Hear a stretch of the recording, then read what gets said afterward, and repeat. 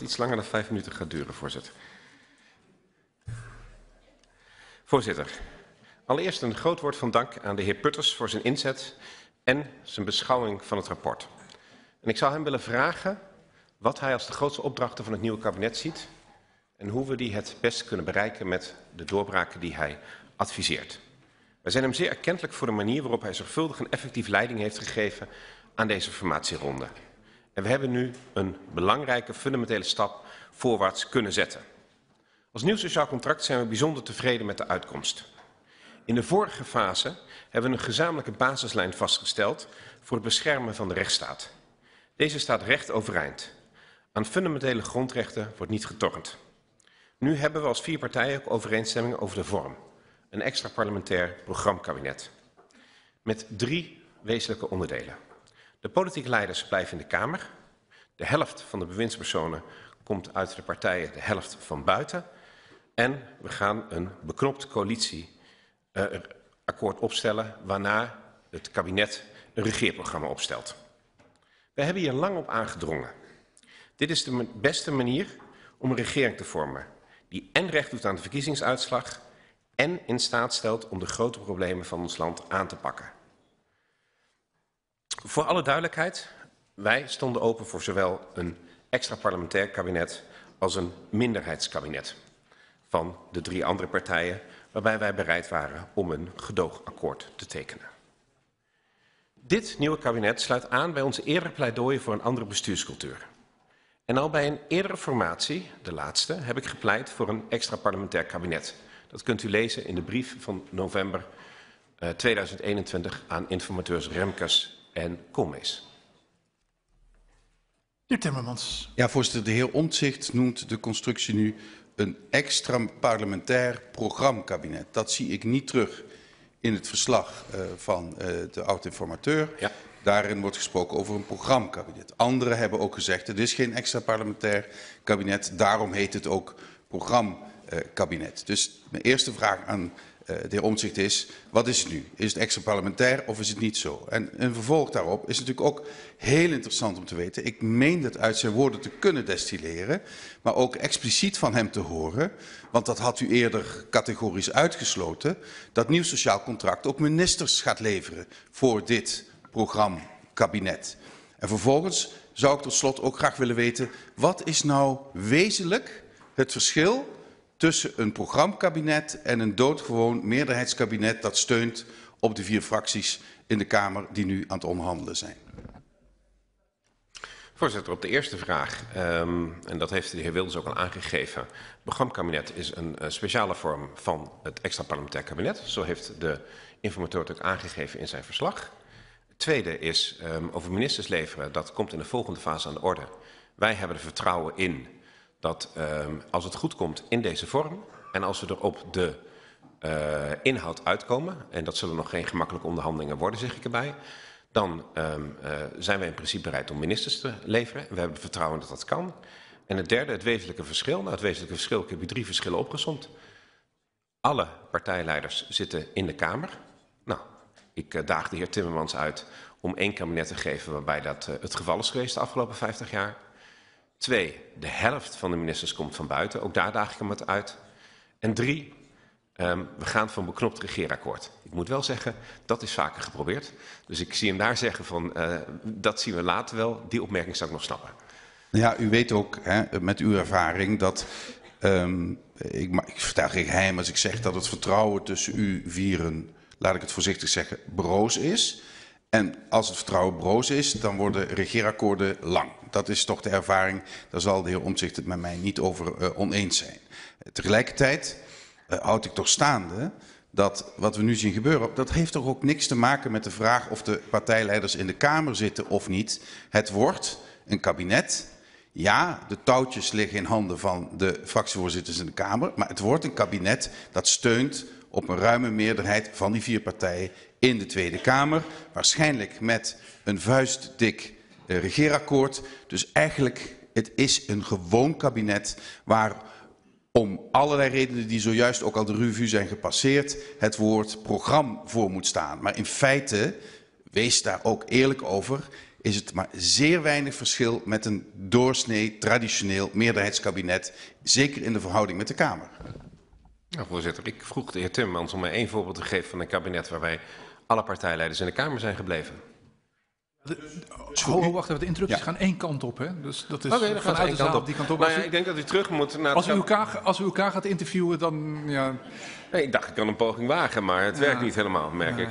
Voorzitter, dus gaat me aan de regels houden. Als u eerst even antwoord geeft op de heer Timmermans, geef ik hem daarna weer het woord. Ja. Uh, ik moet even weer terugkomen.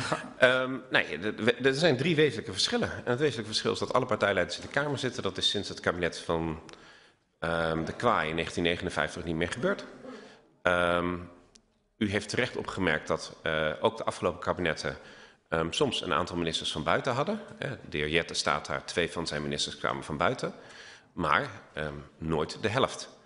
Uh, ook dat is een, een wezenlijk verschil. Het derde wezenlijk verschil is dat beknopte programmaakkoord. Maar dat u daar zegt, eerst zien dan geloven. Joh, dat, ja, ik geloof dat u dat zegt en ik snap waarom u dat zegt. Afrondend? Afrondend, voorzitter. Ja, ik, ik begrijp ook na vanochtend best het ongemak. Maar ik houd staande dat het verschil met traditionele kabinetten marginaal is en in de vorm, maar inhoudelijk er niet is. Nou, voorzitter, die, die conclusie die laat ik uh, in zijn geheel voor de heer Timmermans. Um, ik denk dat hier een behoorlijk wezenlijk verschil is op de wijze waarop wij een kabinet tot stand brengen. En ik zou zeggen, kijkt u hoe het, uh, hoe het uitpakt. De heer Jette. Voorzitter, de uh, democratische rechtsstaat is denk ik een van de redenen waarom uh, nu sociaal contract is opgericht. Uh, en ook een van de speerpunten van die twintigkoppige fractie hier in het parlement. En daarom hebben we ook bij het vorige debat over de formatie heel lang stilgestaan bij zorgen die er zijn over die democratische rechtsstaat. En de heer Omtzigt zei net, ik ben bijzonder tevreden met de uitkomst van deze fase van de formatie. En dan heb ik denk ik toch iets gemist in de afgelopen paar weken. Want oh, in het debat van 14 februari um, vond de heer Omzicht de afstand tussen NSC en PVV rechtsstatelijk nog te groot. Enerzijds vanwege het verkiezingsprogramma, maar ook, zo benadrukte de heer Omzicht, vanwege uitlatingen van de PVV-leider in het verleden die niet door hem worden teruggenomen. En is er dan in de afgelopen weken onder leiding van de heer Putters iets veranderd? Heeft de heer Wilders toch uitspraken teruggenomen? Heeft hij toch een deel van zijn verkiezingsprogramma niet in de ijskast gezet, maar door de scherder geduwd? Zodat de NSC-fractie nu ook het vertrouwen heeft dat er met de PVV ook een coalitieakkoord te sluiten is dat voldoet aan die democratische waarden van de NSC-fractie. Voorzitter, um, wij hebben in de brief aan de, um, aan de verkenner, de heer Plasterk, op 29 november laten weten dat we zo zoeken naar een manier om wel samen te werken. En in die brief hebben we al genoemd dat dat een uh, minderheidskabinet met gedoogsteun kan zijn of een extra parlementair kabinet. Nadat wij op 10 januari die basislijn waar we net aan gerefereerd hebben hadden vastgesteld, en daar wijst de heer Jette net op, hebben wij een verklaring laten opnemen in het verslag van uh, toen informateur Plasterk, dat wij gezien de rechtsstatelijke afstand niet een normaal meerderheidskabinet zullen vormen, maar wel bereid zijn om over te gaan tot een extra parlementair kabinet of een minderheidskabinet en daar gedoogsteun aan te leveren. Datzelfde hebben we uh, nog een keer herhaald in een brief die u op de website van ons kunt vinden van 7 februari aan uh, toenmalig informateur Plasterk. En hetzelfde hebben wij ook meegedeeld aan informateur Putters. Dus wij hebben vanaf het begin gezegd, wij vinden die rechtsstatelijke afstand groot. Daar hebben we aan gewerkt om naar de toekomst toe een gemeenschappelijke lijn te hebben, waar we elkaar ook aan kunnen houden, ook als we straks over de inhoud praten. En hebben uh, gezegd, dus zijn we bereid om een extra parlementair kabinet te vormen. En dat heeft u juist gezien, wat daar de basisstenen uh, van zijn. Maar voorzitter, die basislijn was de vorige fase. Dat was met informateur Plasterk. Na die basislijn heeft u zelf in dit, heeft de heer Omzicht zelf in dit debat geconcludeerd omdat de heer Wilders verwerpelijke uitspraken niet terugneemt, omdat er onderwerpen in een verkiezingsprogramma staan die wij onrechtstatelijk vinden, kan ik niet met hem samenwerken. Er is dan nu een vormpje voor bedacht waarom dat dan wel zou kunnen. Maar de heer Wilders heeft in dit debat net weer gezegd, ik ben de leider van de grootste partij. Ik zou er recht op hebben om premier te moeten worden. En nu ik dat niet mag worden, is het aan mij om, als leider van de grootste partij om straks een premier voor te dragen. En daarmee alle touwtjes in handen te hebben van een kabinet dat wordt gesteund door vier partijen in deze Kamer. Ik begrijp begrijp nog steeds niet welke garanties en zekerheden u dan heeft dat er in de komende jaren niet alsnog wordt beknibbeld op die democratische rechtsstaat. En dan bent u daar met twintig NSC-Kamerleden wel mede verantwoordelijk voor. Um, de heer Jette um, misrepresenteert uh, wat ik op dit moment, uh, wat wij zeiden in het vorige debat. Wij zeiden in het vorige debat dat wij um, niet bereid waren over te gaan tot een normaal meerderheidsakkoord. En hebben daar meteen achteraan gezegd dat we wel bereid zijn om te praten over een extra parlementair kabinet. Dat was ook overigens de opdracht die meegegeven is in de motie uh, van de heer Wilders over het aanstellen van de heer Putters. Daar werden, en dat vind ik ook verbazingwekkend van een aantal interrupties tot nu toe, vormen voorgesteld van of die wilde kijken naar een extra parlementair kabinet, een minderheidskabinet of een gedoogcoalitie. Nou, dat zijn precies de uh, onderwerpen die de heer Pitters onderzocht heeft. Hij heeft nog eerst nog gekeken of de vormen van een meerderheidskabinet mogelijk waren en ook geconcludeerd dat dat niet zo was. Um, dus dit is de opdracht uh, die gedaan is. En dit is wat wij vanaf het begin zeiden. En ik vertelde u al, voor, voor de NSC-fractie is um, het idee, als u ons verkiezingsprogramma zou lezen, dan zou u zien dat we daarin al zeggen dat we coalitieakkoorden alleen op hoofdlijnen moeten hebben met financiële details. Voor degenen die die zin straks nog aan mij gaan duiden. Dat wij minderheidskabinetten wenselijk vinden. Dat wij graag een constructieve dialoog zien tussen de fracties in de Kamer en het parlement. En dat we graag vakministers op inhoud zien. We hebben dit al in 2021, toen ik alleen in de Kamer zat, ook aan de informateurs gezegd. Dus ja, ja ik, ik loop hier ongeveer hetzelfde te zeggen al twee, tweeënhalf jaar lang. En ik ben eindelijk blij dat in die twee, tweeënhalf jaar dat iedereen mij vaag aankeek van... bedoelt hij dat nou? Kan dat nou? Ja, dat kan. En ik ben heel blij dat we overeengekomen zijn dat dat een manier is om zaken op te lossen. En dat is dus, en dat vond ik het goede van het verslag van de heer Putters... ook een oplossing voor de huidige problemen. Ja, voorzitter, het ligt misschien aan mij. Kijk, ik ben gewoon een simpele jongen uit Brabant en ik snap al vier maanden eigenlijk niet wat al die verschillende termen betekenen. Um, ik heb ook van de heer Plastek en van de heer Putters uh, uitleg gevraagd. Wat is dat nou, dat extra parlementair? Um, nou, hebben ze mij ook niet kunnen uitleggen. Um, ze hebben een poging gedaan. Het kwam er in ieder geval dan niet op neer dat vier fracties uit de Tweede Kamer met elkaar gaan onderhandelen over een coalitieakkoord. Dat vier fracties uit die Kamer dan vervolgens bewindslieden leveren aan dat kabinet. En dat de leider van de grootste partij zich het recht voorbouwt om de minister-president aan te wijzen. Alles wat u gaat doen in de komende weken is voor een simpele ziel als mij gewoon een meerderheidskabinet. Het eerste kabinet Wilders. Misschien met een andere premier, maar het is gewoon niet meer dan dat. En dan kunt u allerlei hele moeilijke woorden voor verzinnen en hele lange antwoorden op formuleren. Maar u gaat gewoon als NSC-fractie het eerste kabinet Wilders mogelijk maken. En dat is voor mij het simpele feit uit dit debat. Ik geloof dat uh, de heer Jette het woord, uh, de betekenis van het woord misschien in het woordenboek niet helemaal goed begrepen heeft. Mevrouw Bikker. Ja, voorzitter, toch even terug. Ik heb heel goed gezien waar de heer Omt zich altijd voor heeft gepleit. Namelijk minder betrokkenheid, minder dicht op elkaar zitten wat betreft Kamer en kabinet. En daarin juist ook een gezonde afstand creëren. En ik waardeer dus ook opnieuw ook hier het compliment dat hij zegt, ik blijf dus in de Kamer. Dat, dat begrijp ik goed. Maar toch even terug. Want op 10 januari schreef de, NS, de, de, de, Nieuw Sociaal Contractfractie, ik zal proberen hem voluit uit te spreken, want dat geldt voor ChristenUnie idem dito. Uh, gelet op uitspraken in het verleden en standpunten in het verkiezingsprogramma van de PVV is en blijft de rechtsstatelijke afstand te groot voor deelname aan een meerderheidskabinet of minderheidskabinet. Wat is er nou veranderd aan die rechtsstatelijke afstand? Ik heb duidelijk dat u wat heeft gedaan aan de, aan, de, aan de vorm. Daar heb ik mijn vragen bij. Ik herken wel wat observaties van collega's. Maar u bent bezig geweest met die vorm. Maar wat is er nou veranderd aan die afstand, die rechtsstatelijke afstand? Nou, de zin die daarachter staat is dat wij wel uh, landsbestuur mogelijk willen maken. Er zijn urgente problemen in Nederland die opgelost moeten worden. En ik heb die zin ik, niet voor u wel. Uh, daar staat in dat wij ook, op, uh, 2000, ook in de brief van 10 januari uh, 2024, dat wij wel bereid zijn om gedoogsteun te leveren aan een minderheidskabinet, als deze drie partijen dat zouden willen vormen, en dat wij bereid zijn om mee te werken aan een extra parlementair kabinet, waarbij wij dat extra parlementair kabinet ook het liefst zo breed mogelijk zouden zien, dus ook met betrokkenheid van politici uit andere partijen, andere partijen als ze willen, en juist van mensen uh, van buiten deze Kamer.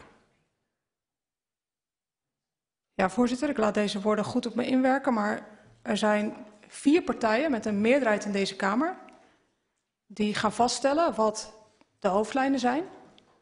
die een financieel kader gaan vaststellen. En de heer Omtzigt weet als geen ander, als financieel woordvoerder, uh, jarenlang wat dat betekent. Namelijk dat daarmee heel veel wordt vastgeklikt. En het zijn deze vier die daarmee dat schip van het programmakabinet van wal gaan laten. En hoe is dan die rechtsstatelijke afstand, op welke manier is daar dan verandering in gekomen met deze vorm? Hoe, hoe overbrugt dat dan? Nou, ten eerste was er de uitnodiging aan andere partijen om daarover uh, over mee te denken. Die heeft u gehad. Um, en uh, die rechtsstatelijke afstand, die hebben we dus door een wat grotere afstand tussen het kabinet en de Kamer te hebben. Door mensen van buiten te hebben, door de partijleiders in de Kamer te hebben en door de basislijnafspraken die we gemaakt hebben over hoe we borgen dat de rechtsstaat um, gerespecteerd wordt. En die uh, afspraak die hebben we, ik geloof, op 8 of 9 januari gemaakt. Ja, voorzitter. Soms heb je dat je denkt, still confused, but on another level. Um, en dat is nu wel een beetje zo, want mijn, mijn zoektocht blijft dan eigenlijk van... Aan de ene kant zegt de heer Omzicht, de rechtsstatelijke afstand was toen te groot. Daarom geen meerderheid of minderheidskabinet. Extra parlementair zouden we wel zien vliegen. Maar in mijn beleving is wat de NSC-fractie toen zei... is niet van dan gaan wij mee onderhandelen. Is niet dan zullen wij ook mensen leveren aan dat kabinet. En dat is nu wel wat gaat gebeuren. Deze, deze vier gaan samen onderhandelen, gaan dat financieel kader vaststellen.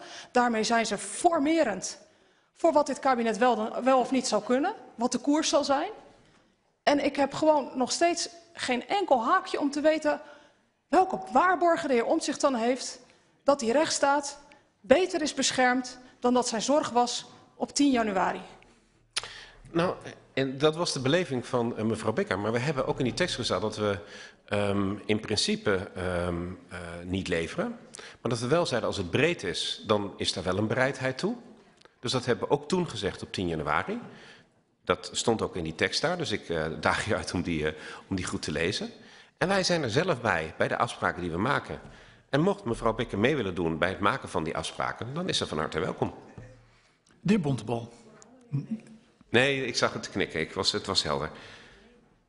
Voorzitter, in het verslag um, uh, schrijft de informateur over het, de extra parlementaire vorm dat daar geen eenduidige definitie van te geven is. Ja. Letterlijk citaat. En hij zegt dat het een verwarrend begrip is. En dus komt hij ook tot een andere naam, omdat het namelijk gewoon uh, een verwarrend begrip is. Dus laten we elkaar niet hier voor de gek houden. Het wordt gewoon een meerderheidskabinet. In 2010 um, is de PVV in een gedoogrol gekomen. Uh, we hebben gezien hoe dat afliep. Um, is de heer Omtzigt en zijn NSC niet doodsbang dat hij in, over tien jaar terugkijkend ook weer moet concluderen dat hier een afslag is genomen in de Nederlandse politiek, waar hij daar straks heel veel spijt van heeft. We maken uh, de polarisatiepolitiek, die maken we hiermee mainstream. Is dat een morele overweging die hij heeft afgewogen en waarom is zijn mening uh, de afgelopen weken toch op dit punt veranderd? Omdat wij goede gesprekken gehad hebben wat we samen met Nederland willen. Wat er veranderd is, is er een verkiezingsuitslag op 22 november... die nog steeds toegeleid heeft dat een aantal partijen in deze Kamer het best lastig vinden... om te kijken welke richting um, het electoraat daarmee gegeven heeft. En die richting is niet eenvoudig, zeg ik erbij. Omdat dat geleid heeft tot meerdere signalen. Een van de signalen is dat er ook echt iets gedaan zou worden, moeten worden aan migratie. Arbeidsmigratie, asielmigratie, studiemigratie. Dat zal in deze nieuwe coalitie mogelijk worden. Het tweede is, is die rechtsstaat gewaarborgd? Ja, met de afspraken die wij gemaakt hebben en met het feit dat we daar ook elke dag zelf bij zitten, zijn die, zijn die gewaarborgd. Drie, hoe ik over tien jaar terugkijk op welk kabinet dan ook. Nou, dat, uh, dat is een interessante. Ik, uh, er zijn meerdere kabinetten waar ik steun aan verleend heb, waar ik niet met veel trots op terugkijk. En laat ik zo zeggen, het ene laatste kabinet Rutte is er daar eentje van, zeg ik er in alle eerlijkheid maar bij. En daar zat ik ook zelf als Kamerlid in de Kamer die dat steunde. Maar voorzitter, dit klinkt toch als een antwoordje van ja, het moet, want er moet een kabinet komen. En ik zie dat ik onmisbaar ben als partij. Maar u heeft toch ook overtuigingen? U heeft toch uh, ook morele overtuiging om dingen wel of niet te doen. Daar zit toch ook precies het spannende punt. En zo lees ik ook de manier waarop u dit een naam probeert te geven, extra parlementair, omdat daar de worsteling in weerspiegeld wordt. Daarom um, wil u ook dat uh, collega Wilders niet de premier wordt van Nederland. Ik lees in het AD dat uw collega's uit de fractie dat ook letterlijk zeggen. Want dan wordt er meer afstand gecreëerd tussen onze fractie en tussen het kabinet Wilders 1. Dus daar zit een morele uh, overtuiging achter. Daar zit de worsteling. Dus ik vraag ook uw reflectie daarop. Ja, voorzitter, er is een diepe overtuiging bij ons dat wij al twee, drie jaar lang zeggen en dat iedereen ons een beetje uitlacht. Als wij zeggen wij willen echt een andere vorm van de regering. Omdat dit land knetter vastgelopen is. Knetter vastgelopen is. Uw collega's hebben het straks gehad over het toeslagenschandaal, over het gasschandaal. De wijze van regeren die hier de afgelopen jaren gevolgd is, heeft niet alleen geleid tot tienduizenden burgers die in knel gekomen zijn, maar heeft er ook toe geleid dat ondanks de goede bedoelingen van heel veel partijen in deze Kamer, problemen zo divers als het stikstofprobleem tot het woningprobleem, tot de problemen van de standaarden in het onderwijs en het aantal kinderen dat niet functioneel alfabet is op, op, eh, op, een, eh, op een vijftiende, toegenomen zijn in plaats van afgenomen zijn. Wij hebben gezegd dat heeft te maken met een aantal manieren waarop we dit land besturen. Verstikkende regeerakkoorden, geen afstand tussen de regering en het parlement en soms onvoldoende input van buiten, omdat daar heel veel kennis in de samenleving zit. Er zitten hier 150.000 mensen, 150.000, 150 mensen. Ja, u lacht erom, maar het zijn geen minions, zeg ik maar even tegen die kant. Dat vond ik zwaar beledigend richting 36 medeparlementariërs. We zitten hier.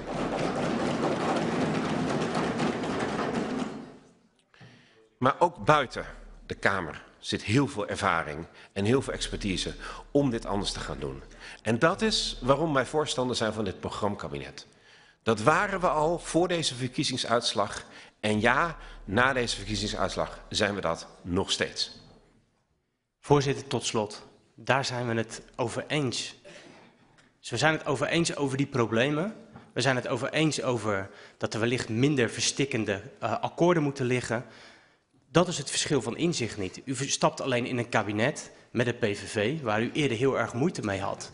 En u maakt met uw fractie nu voor het eerst een meerderheidscoalitie mogelijk met de PVV, die bekend staat om een polarisatiepolitiek die we niet eerder in de Nederlandse geschiedenis hebben gezien. En dat is waar ik uw reflectie op vraag. Niet op, om het oplossen van het probleem, want dat wil volgens mij iedereen heel graag in deze Kamer. Het oplossen van problemen wil iedereen in deze Kamer. En toch is het niet gelukt.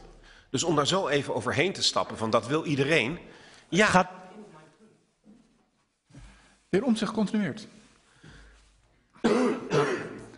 Nog iets anders dat ik van de heer Wilders gekregen heb de afgelopen dagen, geloof ik. We waren allemaal behoorlijk verkouden daar op uh, de Zwaluwberg. Het lek is boven. Het lek is boven. Oh ja, ik mag niet lekken over wat daar gebeurde, voorzitter.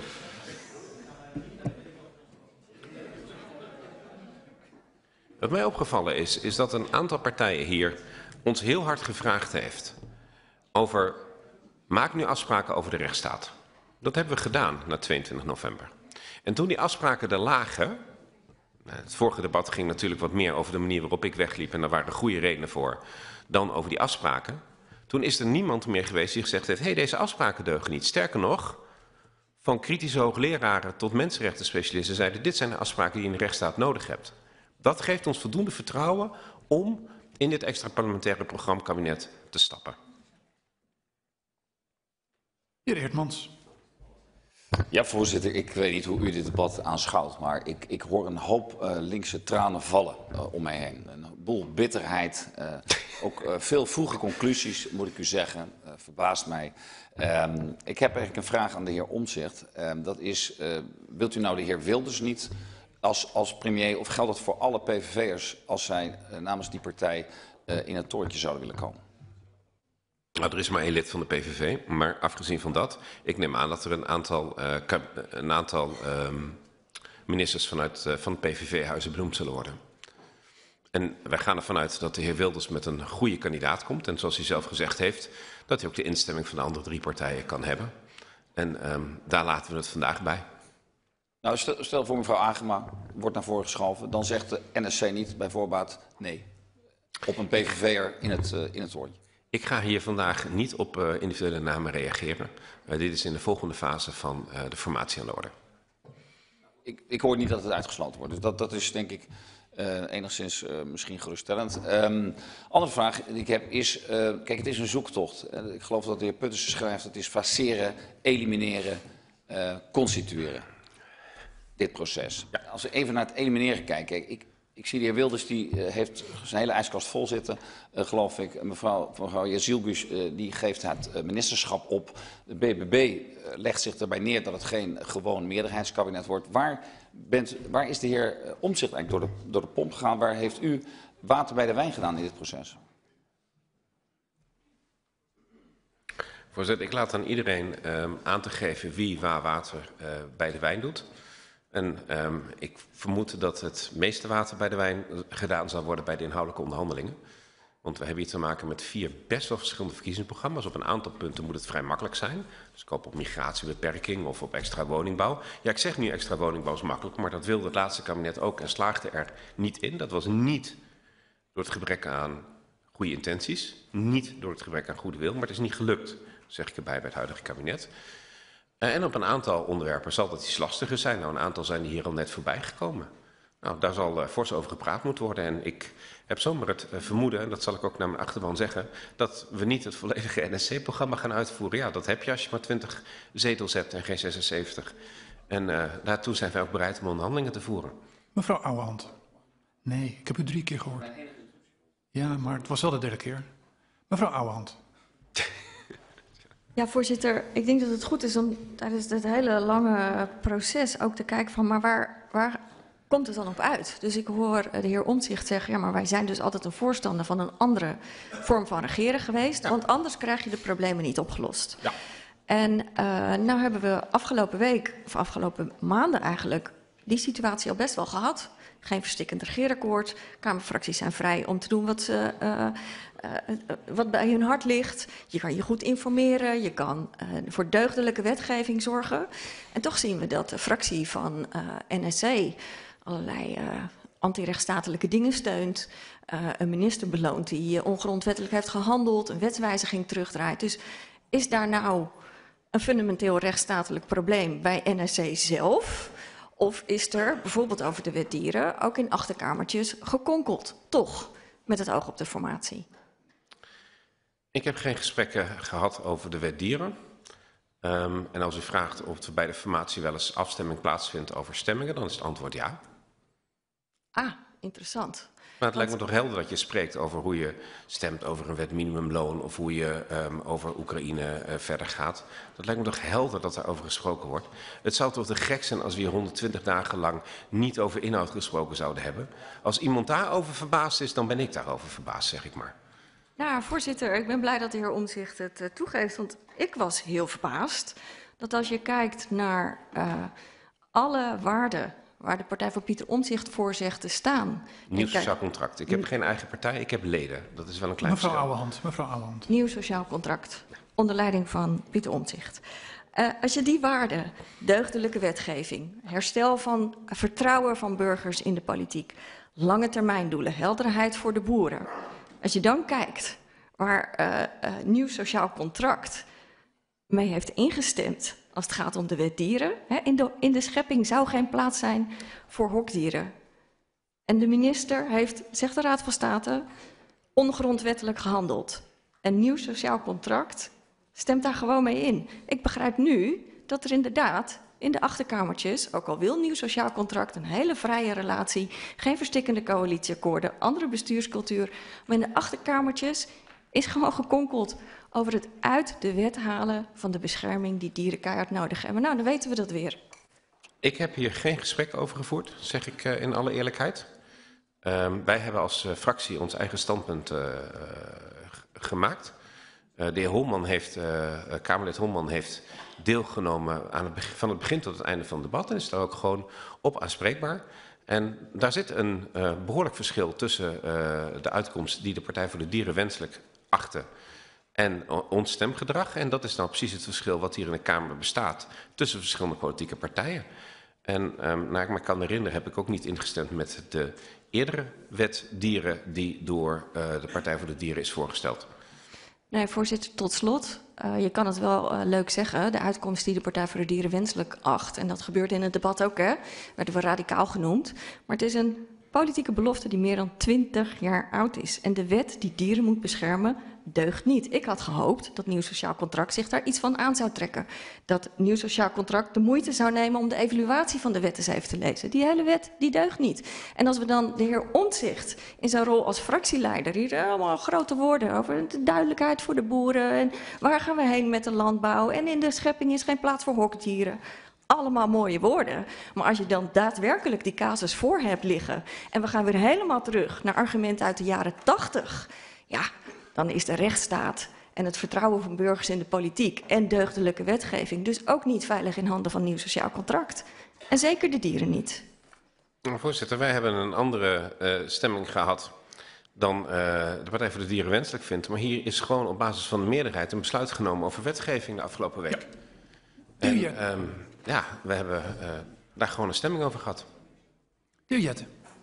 Ja, voorzitter, ik ben het heel erg met de heer Omzicht eens dat het goed zou zijn als we minder verstikkende coalitieakkoorden krijgen. Zodat een minister of een staatssecretaris gewoon op basis van actuele informatie goede besluiten kan nemen. Je hier in de Kamer daar het debat over kan voeren en dan de juiste dingen voor het land kan doen. Maar de heer Omzicht voelde hem zelf net ook al aankomen. Hè? Dan gaan we het even één zinnetje in het verslag van de heer Putters wel moeten hebben. Namelijk, en ik citeer even, de voorzitter van de fractie NSC staat positief tegenover afspraken op hoofdlijnen, maar wenst gedetailleerde afspraken over wat hij belangrijk vindt. En, daar staat nog eens, er staan nog een paar woorden achter. Maar dat, ik denk dat het goed is als u nee, dat nog u de woorden verder, achter staan. nou, vooral ten aanzien van een solide financieel kader. Dat bedoel ik. Ja. Maar dan is wel de vraag, um, in hoeverre is dat dus te rijmen met niet een verstikkend akkoord? Want detailaspraken over de financiën bepalen op alle beleidsterreinen welke speelruimte een bewindspersoon heeft.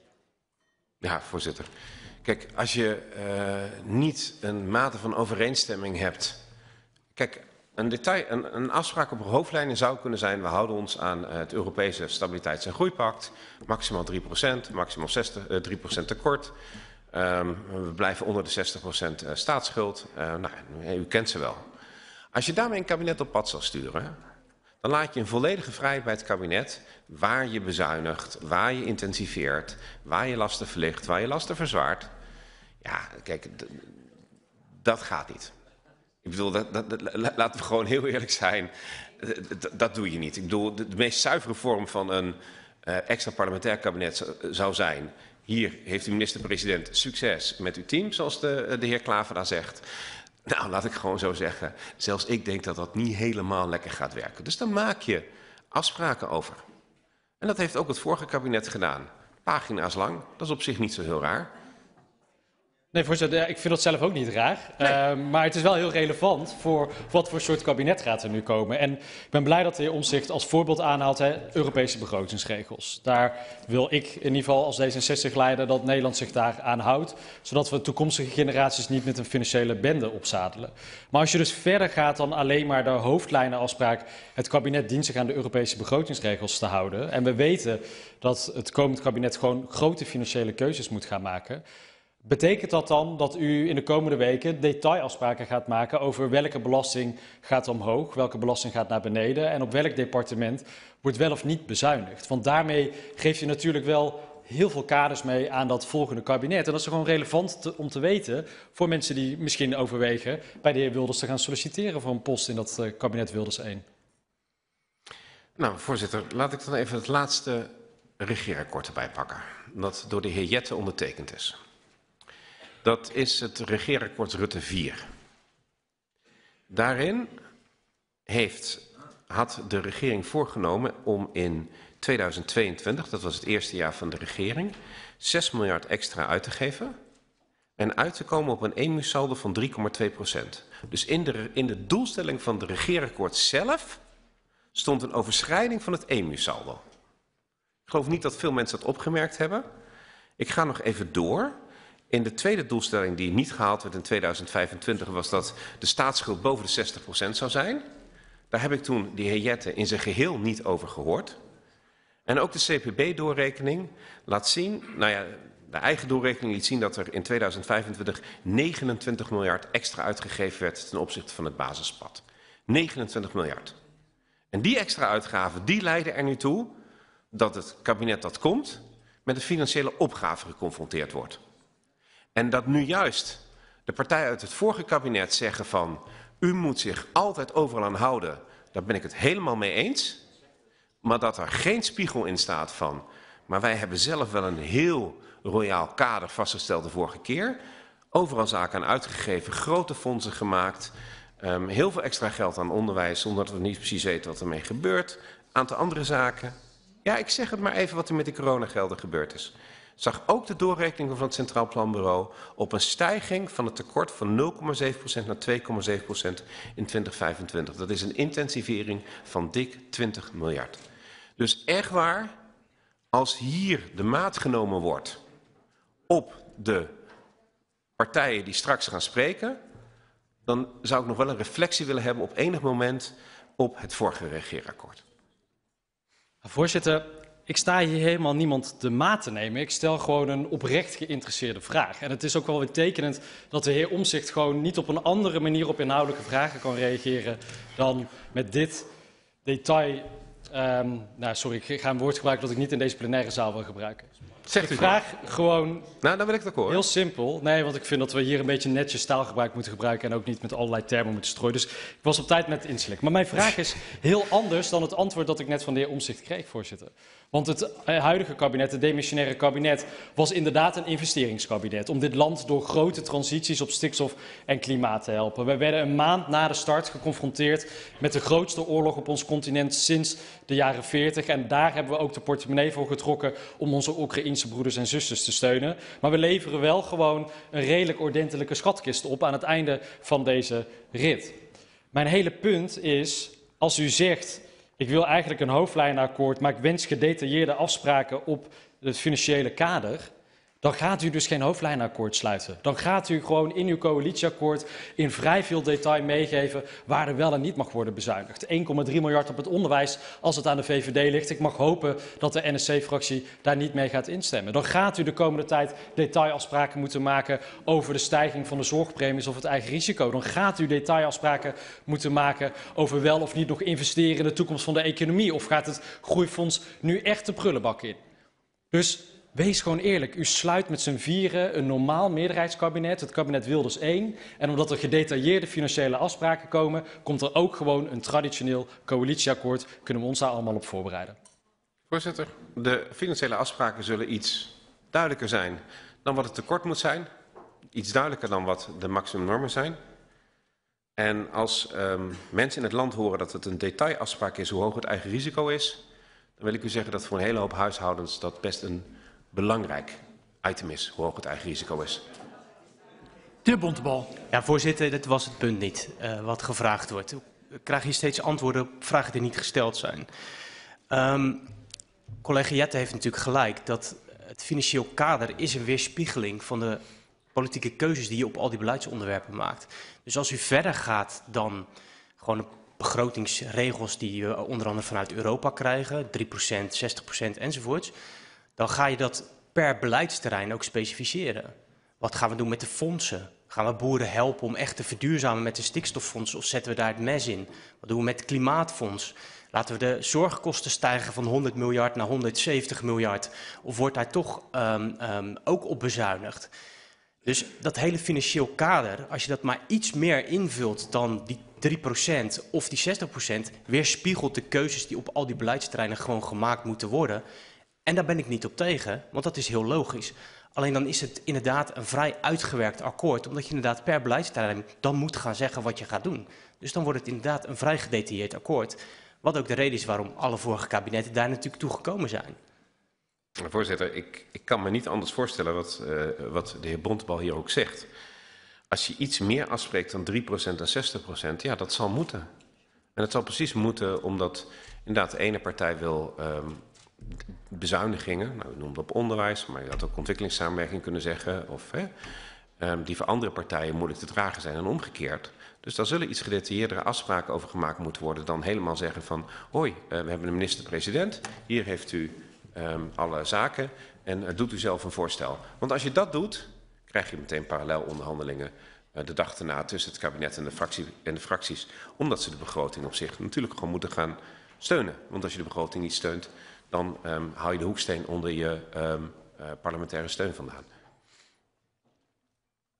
Maar dan, dus, dan bent u het ook met me eens dat het, dat het dus per beleidsterrein um, toch wel vrij gedetailleerd moet zijn. Dus dan ga je inderdaad afspraken maken over de mate van bezuinigingen uh, in de zorg, uh, eigen risico. Je gaat het hebben over ontwikkelingssamenwerking, hoeveel erbij of af moet. NPO, hoeveel erbij of af moet. Dat soort deta detail afspraken ga je dus gewoon maken in dat hoofdlijnakkoord. In het hoofdlijnakkoord komen zeker dingen te staan uh, die, uh, die de heer Bontebal noemt. Als iemand zegt uh, er moet wel iets, of iets niet met de NPO gebeuren, dan staat dat in het hoofdlijnakkoord. En als er een, uh, een, een grote wijziging in het eigen risico plaatsvindt, zal dat in het hoofdlijnakkoord staan. Dat lijkt me helder. Het hoofdlijnakkoord is niet één kantje. Ik bedoel, kom op. Het geeft een richting aan wat er hier moet, uh, moet, moet gebeuren in dit land. De heer Eertmans. Ja, voorzitter. Een vraag en een welgemeend advies uh, daarbij. Um, ah. Ja. Toen, uh, toen Rutte en... Spreektijd gehad. Toen Rutte en Samson met elkaar een kabinet smeden, uh, was volgens mij de harmonie tussen die twee heel goed. Maar de verschillen tussen die partijen best groot. Volgens mij is het nu precies andersom. Ik zie vier partijen die best veel gemeen hebben. Uh, daar goed uit zouden kunnen komen, maar dat, dat het met die chemie nog een beetje worstelen is. Dus daar begon ik net over de punten waarvan ik denk, objectief, daar is best veel weggegeven. Daar is een poging gewaagd om uh, samen te werken. Ik, ik heb dat een beetje gemist aan de kant van NSC. Ik wil niet zeggen dat het achter de schermen toch gebeurd is, maar heb ik het niet in het verslag kunnen ontdekken. Mijn punt is, wil je hier een succes van maken, ook als NSC, dan moet je investeren in dit gezelschap. En dat is mijn advies, doe dat en kijk dus ook op de inhoud, maar ook op de vorm en het proces en de chemie naar wat jullie bindt en niet wat verschilt. Dank, dat is een zeer waardevolle suggestie en ik zal niet zeggen dat ik hem niet kan plaatsen, want ik kan hem plaatsen. Een interruptie in ene, dat is ook wel eens lekker. De heer Dijk. Voorzitter, volgens mij heb ik uh, net in andere interrupties al uh, duidelijk gemaakt hoe ik tegen die chemie aankijk. Maar ik wil toch even iets, iets praktisch uh, ook in dit, dit debat naar voren halen. Iets waar mensen ook volgens mij echt op zitten te wachten. Um, het toeslagenschandaal. Um, u bent daar een, een van de belangrijkste Kamerleden in geweest die dat boven water heeft gekregen. En dat duurde zo lang juist omdat er zo'n enorm strakke coalitiedwang was. En dan heb ik gisteren voor het eerst in deze nieuwe samenstelling van de Kamer een debat gehad over de hersteloperatie toeslagen. Ik vond het vreselijk. Omdat het totaal, het, liet, het legde helemaal bloot dat we alles behalve dicht bij een oplossing zijn voor zoveel mensen die daar echt op zitten te wachten. En u gaat geen minister worden, heb ik begrepen. U gaat geen minister-president worden. Maar ik wil eigenlijk een toezegging van u. Uh, ik wil een toezegging van u dat de komende maanden er geen enkele dwang is vanuit een toekomstig te vormen coalitie op dit onderwerp. Want ik ben echt geschrokken gisteren tijdens het debat over hoe ver de achterstand is, hoe mensen nog steeds in een mangel zitten. Ik spreek nog steeds die mensen die, die slachtoffer zijn van een toeslagenzaal. Ze komen geen stap verder, zitten nog steeds midden in die ellende. Dus ik vraag u eigenlijk om een toezegging uh, dat u de komende tijd ook en uw partij, u bent niet meer een onafhankelijk Kamerlid, maar heeft inderdaad een, uh, een partij met leden. En ik wil aan u vragen, ik wil, eigenlijk wil ik van u een toezegging horen, geen enkele coalitiedwang op dit onderwerp. Ik zit niet te denken aan enige vorm van coalitiedwang op dit onderwerp. En uh, u heeft het volledige commitment. Gisteren was mijn collega Nicolien van Vroonhoven ook aanwezig bij dat debat. Um, om dat ook um, goed op te lossen um, uh, over de lijnen. en ik moet u in mijn spijt bekennen dat als het zo gaat als het nu gaat, zelfs dit kabinet niet zal toekomen aan het oplossen voor de ouders. En ik heb daar wel voorste balen van. Want niet voor mezelf, ik bedoel, al moet ik er nog tien jaar verder mee werken, het zal mij gestolen worden. Maar de schandvlek hier is ontstaan. En ook een van de redenen dat ik kwaad wegliep op, uh, op, op 6 februari, was dat er een aanvullende tegenvaller van 2 miljard in zat. Die gewoon even terloops gemeld werd. Alsof het een nummer was. En niet een aantal ouders dat totaal klem zat. En ik ben bang dat wij, doordat we het toeslagenherstel op de verkeerde manier begonnen zijn. En constant aan het stapelen zijn op iets wat in de grond niet goed deugde. Um, er eigenlijk niet goed uitkomen. En dit is nou typisch een onderwerp waar ik het fijn zou vinden om ook samen te werken met andere partijen. Dit hoeft niet uh, in coalitie doen. Heel graag. Uh, fijn te horen dit. Uh, ik ben het roerend met eens met alles wat u zegt, dat ook die hersteloperatie gebouwd is op uh, geen goede fundering. Laat ik het even zo, laat ik het even zo in beeldspraak doen.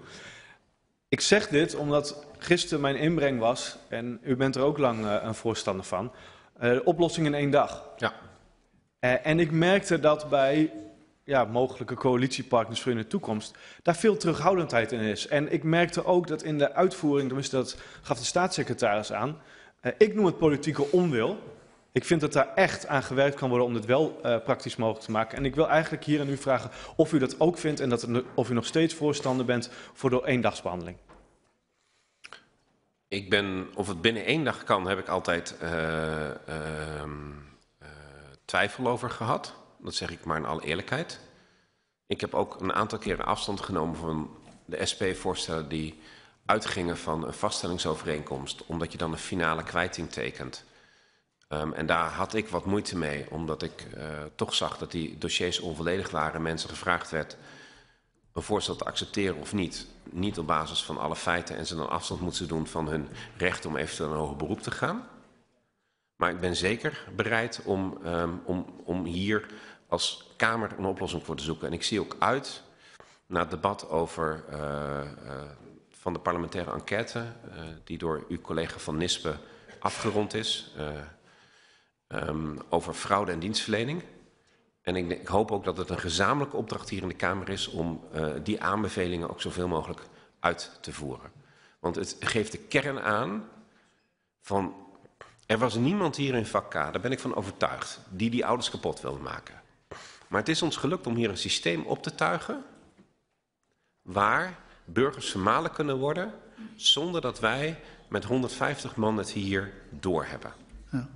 En, als, en ik zie het als een van mijn belangrijkste taken om die luiken van een toekomstig kabinet en van een toekomstige coalitie zodanig open te hebben staan, zoveel daglicht binnen de Tweede Kamer te hebben en zoveel toegang van burgers tot ons en uw partij, uh, zeg ik tegen de heer Dijk uh, heeft die toegang, uh, heeft, heeft dat contact met burgers altijd hoog in het vaandel. Dat als er dingen misgaan, en die gaan mis, maakt u zich geen illusie, dat ze dan ook normaal opgelost kunnen worden. En dat betekent weg van een bepaalde vorm van technocratisch beleid. Dat betekent een echte hervorming van de Rijksoverheid. En ook een echte hervorming van de politiek hier. En laat ik zeggen dat dat een Herculeaans grootse opdracht is. Daar ben ik het uh, ook roerend, uh, roerend mee eens. Ik doe dit kaart ook dit punt nu aan, omdat ik het exemplarisch zou vinden over daar waar sowieso ruimte moet zijn, ook voor de Kamer.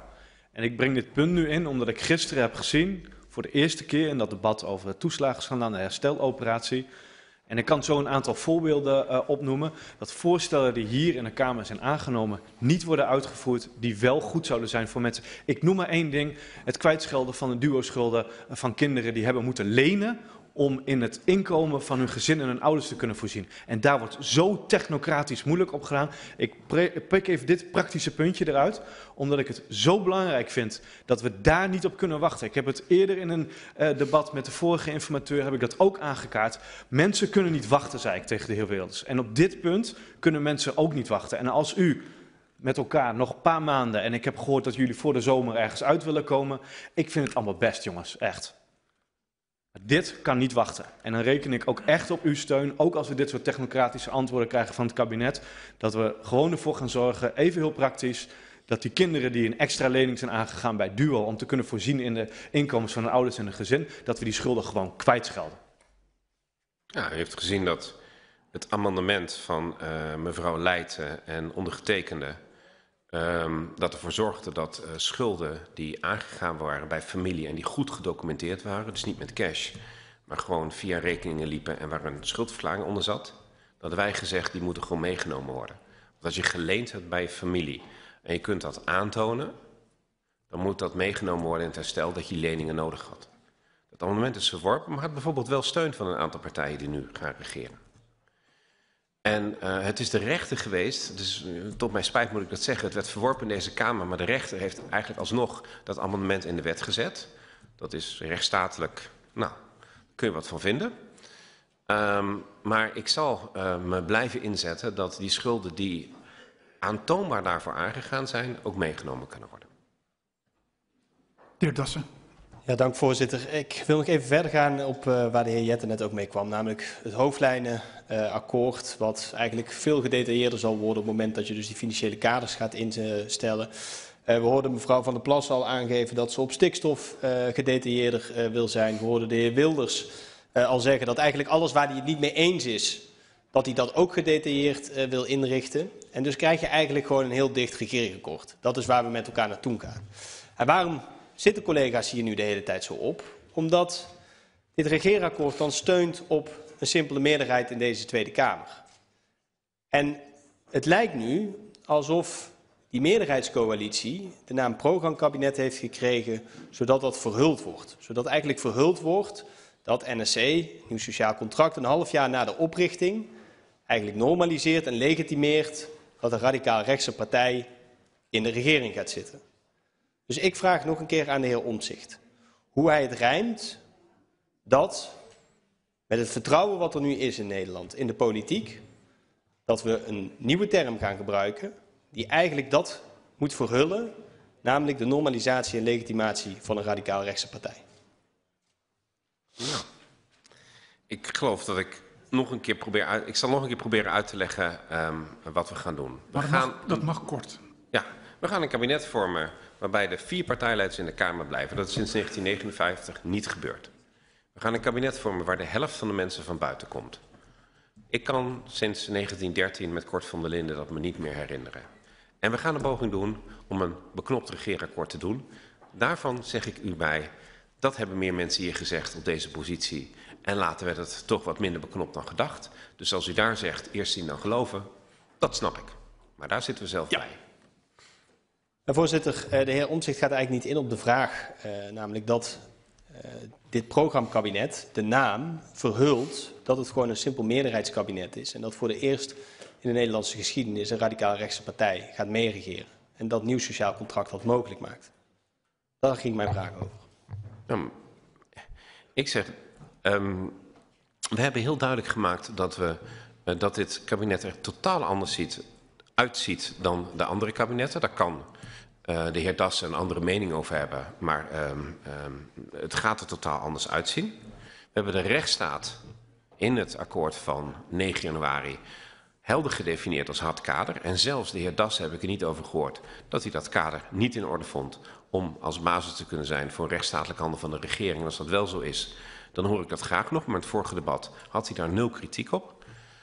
En ja, dan ho hopen wij met uh, deze vorm van regeren zowel de problemen van Nederland op, op te kunnen lossen, als de rechtsstaat recht te kunnen doen, als de uitslag van de verkiezingen van 22 november. Voorzitter, ik heb geen kritiek op dat kader. Wat je alleen wel hebt gezien na de afspraken over dat kader, is dat de PVV zich al niet aan dat kader hield. De NPO moest weggesaneerd worden. Gebeurde net na dat kader.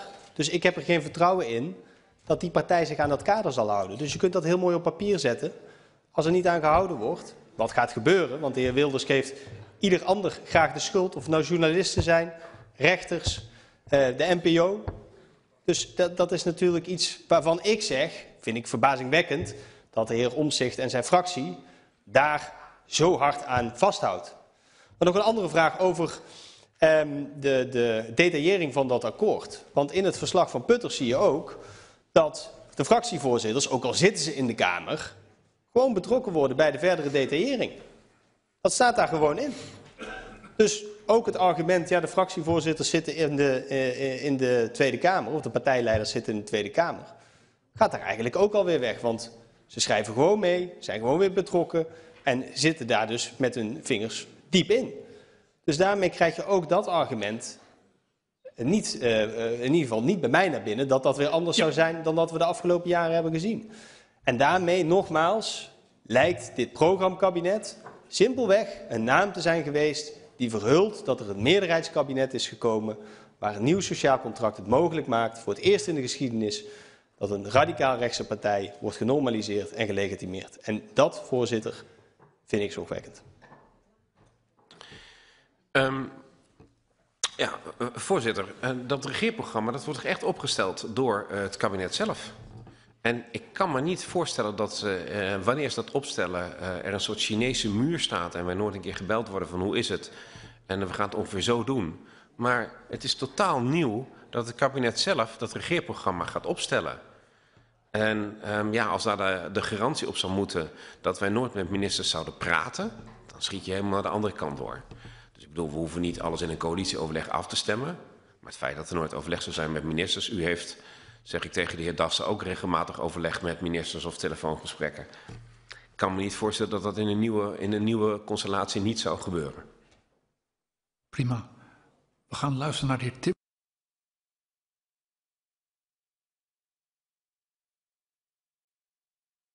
Timmermans, maar ik begin wel een beetje naar de lunch te verlangen. Het woord is aan de heer Timmermans. Dat deel ik met u, voorzitter, dus ik zal mij kort houden. Ik zou graag van, uh, van de heer Omtzigt ook bevestiging willen krijgen dat ook naar zijn oordeel bij vragen van oorlog en vrede, en in Oekraïne speelt ten opzichte van ons een vraag van oorlog en vrede, het niet zo kan zijn dat een kabinet daarover verdeeld is en een coalitie daarover verdeeld is en afhankelijk moet zijn van een eventuele meerderheid in de Kamer te behalen omdat de coalitie zelf erover verdeeld is. Dat gaat zo wezenlijk om onze veiligheid. En ik vond toch dat mevrouw Jesselgus daar wat onduidelijkheid over liet bestaan. Zo van, daar moeten we nog over onderhandelen en zo. Ik neem toch aan dat de heer Omtzigt er bij mij eens is dat op dit onderwerp klare wijn geschonken moet worden en daar ook niet over kan worden onderhandeld. En ook geen enkele coalitiepartij op dit punt zeg maar, het recht krijgt om als het ware buiten te spelen. Ik heb duidelijk gehoord dat de vier uh, partijen uh, waar u aan refereert um, Oekraïne steunen. En um, ja, uh, mij lijkt het helder aan welke kant wij staan in dit conflict. En um, ik heb altijd gehoopt dat het op een zo breed mogelijk draagvlak in de Kamer kan rekenen. En ik moet zeggen, dat heeft de partij van de heer Timmermans ook altijd mogelijk gemaakt. Die heeft daar nooit gezegd van nou, dat is afhankelijk van A, B of C. Daar is vrij behoorlijk solide in geweest. En um, het is wel mijn, uh, mijn streven om ervoor te zorgen dat, dat dat ook in die coalitie gebeurt. Ja, dat is uw streven. Maar laat ik dan hier ook uh, uh, voor de handelingen duidelijk maken dat wij eisen dat hier unanimiteit over is in het kabinet. En dat wij het kabinet dat daarover geen eensgezindheid heeft, niet uit de brand zullen helpen met onze stemmen als dat niet lukt. Want dit is zo'n wezenlijk onderwerp, daar mag geen tweespalt over in een kabinet bestaan. En reken dan niet op ons om u uit de brand te helpen. Regel het maar aan de tafel dat daarover geen enkel misverstand kan bestaan. Oh, nou, dan had ik net gehoopt dat, dat de positie van GroenLinks Partij van de Arbeid hierop helder was. Maar dank voor de voorwaarschuwing dat hij helder was over de steun voor Oekraïne. En ik hoop ook dat hij niet ergens conditioneel gemaakt wordt. En ik, en dat heeft hij misschien gezien, de afgelopen twintig jaar, heb Paul gestaan om om om te zien wat het Rusland onder Poetin gedaan heeft. U hoeft mij daar niet te van overtuigen dat dat een essentieel en groot probleem voor de vrede en stabiliteit in Europa is. Daarom, meneer Omtzigt, reken ik ook op uw steun om ervoor te zorgen dat iedereen die daar aan tafel zit er hetzelfde over denkt of in ieder geval zich daaraan wil committeren. Want een kabinet mag op zo'n punt nooit verdeeld zijn. Ik denk dat het verstandig is als het kabinet inderdaad met één mond spreekt en um, het huidige kabinetsbeleid rondom het conflict uh, waarbij Rusland Oekraïne is binnengevallen voortzet. Prima. Kunt u afronden? Ik heb pas anderhalve minuut gesproken, voorzitter. Ja, u kunt nog uren doorgaan, vrees ik. Nee, dat mag niet, want ik mag maar drie minuten van u doorgaan. Voorzitter, het kabinet is een doorbraak. Dichter in de regeerakkoorden leidde tot problemen, onuitvoerbaar beleid en de Kamer stond feitelijk buitenspel. Partijleider doen, partijleiders doen strak waarvoor ze gekozen zijn. Ze nemen in het parlement plaats. Dat is het centrum van de democratie. En ministers met expertise, kennis en ervaring die de praktijk kennen en weten wat de gevolgen zijn van beleid op de werkvloer. Die expertise zit niet alleen binnen, maar ook buiten politieke partijen. Die hebben we nodig omdat de opgaven waarvoor we staan groot en complex zijn. Voorzitter, de afgelopen maanden hebben veel fractievoorzitters in deze Kamer een beroep op ons gedaan. In de debatten, in de brieven aan de verkenner en in gesprekken met de formateur in de media. Neem verantwoordelijkheid. GroenLinks, Partij van de Arbeid, CDA, D66 hebben gezegd... deze vier partijen moeten doen. En dat doen we ook. Nieuw sociaal contract wil verantwoordelijkheid nemen. Maar ik doe wel een beroep op deze partijen. De problemen waar we als land voor staan vragen om brede en constructieve samenwerking in de Kamer en daarbuiten. Dus ik vraag ook aan die partijen om die uitgestoken hand aan te nemen. In een extra parlementair kabinet zijn verschillende meerderheden op onderwerpen mogelijk. Wij zullen echt de goede voorstellen van andere partijen zeer serieus inhoudelijk beoordelen, zoals ik net ook liet zien in debat met de heer Dijk van de SP. Want ik geloof echt dat het de essentie is van beter bestuur. Het is niet zo dat alle kennis bij vier partijen hier zit. En ik doe een beroep op u. Stem vooral tegen voorstellen waar u niet mee eens bent. Steun voorstellen waar u zich wel in kunt vinden. En haal, maak dat nergens anders van afhankelijk. En hou op met dreigementen van royementen als iemand deze coalitie zou willen steunen. Het is tijd dat we allemaal over onze schaduw heen stappen. Het advies geeft vertrouwen dat we op inhoud en vorm nu stappen kunnen ondernemen. De opgaves voor Nederland zijn onverminderd groot. Helaas zijn het dezelfde opgaves als bij de verkiezingen van 2021 en die van 2017. Sommige zijn enkel groter geworden. Het was en blijft nodig om het bestuur van Nederland dat geleid heeft tot vele grote onopgeloste crisis, van wonen tot stikstof, van bestaanszekerheid tot migratie, grondig te hervormen. Het heeft onmetelijke schade veroorzaakt in het toeslagenschandaal in Groningen. En ik vermoed op nog enige andere plekken in de samenleving die nog naar boven moeten komen. Als je dingen doet zoals je ze altijd deed, dan houd je dezelfde problemen en creëer je ze telkens weer opnieuw. We hebben de afgelopen week een forse eerste stap gezet om te breken met die laatste decennia.